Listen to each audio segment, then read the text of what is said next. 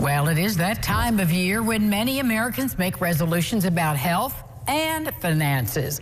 Kelly Lannan is the Senior Vice President of Emerging Customers at Fidelity Investments. Good morning, Kelly. Good morning and uh, happy New Year. I, I, I hope we can still say that through most of January. What do you think? I hope we can too. We'll say it anyway. Maybe it'll become true. So recently there was a study uh, with several generations of people talking about resolutions, especially when it comes to financial issues. What did it reveal to you? Yeah, so our study showed us that more than half of Americans are they are feeling overwhelmed by their personal finances, and 31% say they have a stressful relationship with their money.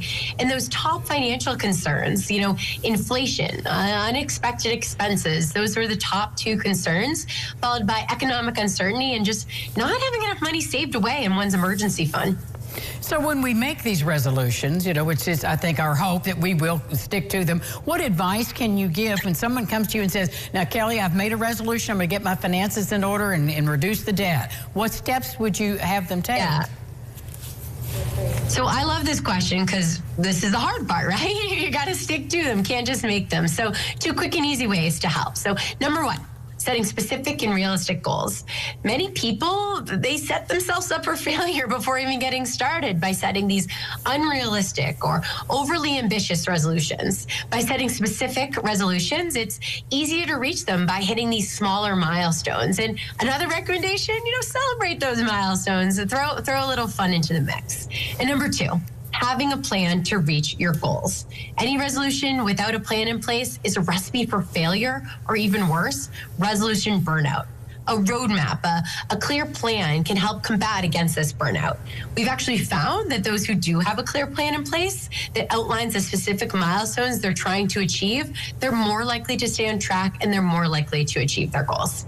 Well, having said that, then for folks who maybe don't, they know they want to get this right in their life, but they don't have the tools and resources. What can you provide, or what resources can you drive them to?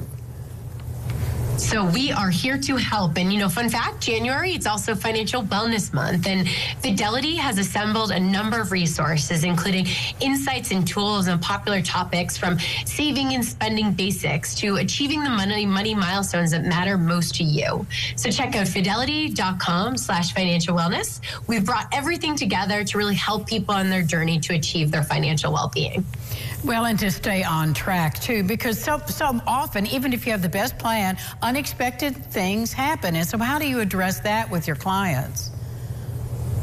Yes. And so, you know, I can't even touch upon the importance of having a plan. And when I say have a plan, not necessarily talking about anything crazy, you know, taking a few notes on your phone, jotting them down to hold yourself accountable, continuing to check in. I mean, think about all the different things we plan for in our life from choosing what to wear, what we're doing on the weekend. And the good news is, is that 70% of Americans claim they do have a plan in place to achieve their financial goals, which can just further help ensure success and that greater financial wellness we want everyone to achieve in 2024.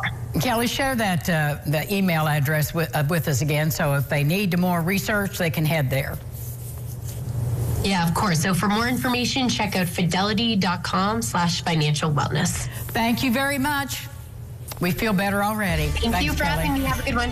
We'll be back with more lifestyles after this. Stay with us.